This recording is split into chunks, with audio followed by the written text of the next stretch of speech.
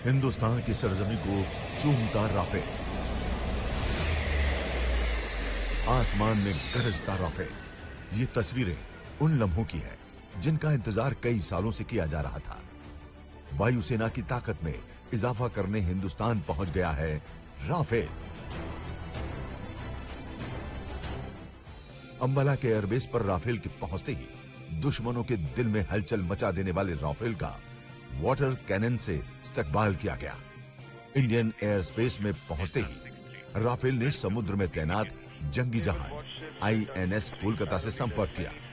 Navy ने Rafale के बेड़े को शुभकामनाएँ देते हुए कहा happy landing happy hunting. Air force के दो Sukhoi 30 M K I air superiority fighter jets ने एस्कॉर्ट किया। इसके बाद आया वो लम्हा।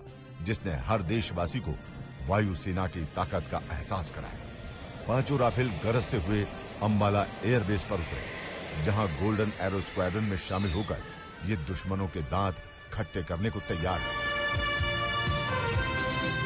फ्रांस के मेरेनिक एयरबेस से सोमवार को रवाना हुए पाँचों राफेल बुधवार को स्वदेश पहुँचे हैं। इस दौरान सभी राइफल फाइटर जेट की हवा में ही रिफ्यूलिंग की गई।